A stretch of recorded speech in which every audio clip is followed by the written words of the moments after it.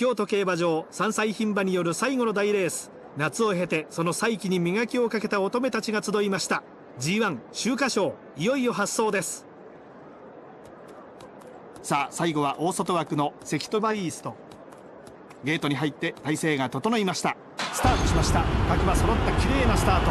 さあ先手を奪うのはどの馬か。予想通り先手を取りました。関戸バイイースト。2番手にはクリスマスパレード。さらにはスペレンボッシュ。12番ラバンタその後ろ。この辺りで各馬第1コーナーにかかります。先手を取ったのはダビッド・アイ。外を通ってランス・オブ・クイーン。内からはミアネーロ。ここにつけたのがクイーンズ・ウォーク。隣にはタガノエル・ピーダこれに続くのがゴンドガール。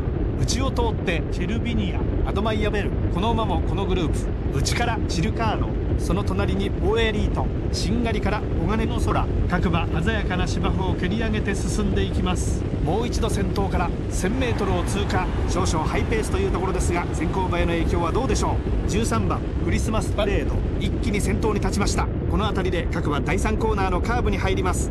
前はクリスマスパレード。外を通って関戸バイイースト。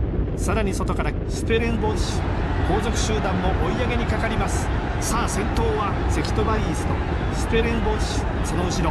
間が空いてクリスマスパレード。4コーナーカーブから直線コースに向きました。先頭に出たのはステレンボッシュ。200を切った。ステレンボッシュ。完全に独走。差が開いていきます。ステレンボッシュ。着。ステレンボッシュ完勝。2番手にはセキトバイーストその後ろにクイーンズウォーク。ステレンボッシュ見事このレースを制しました。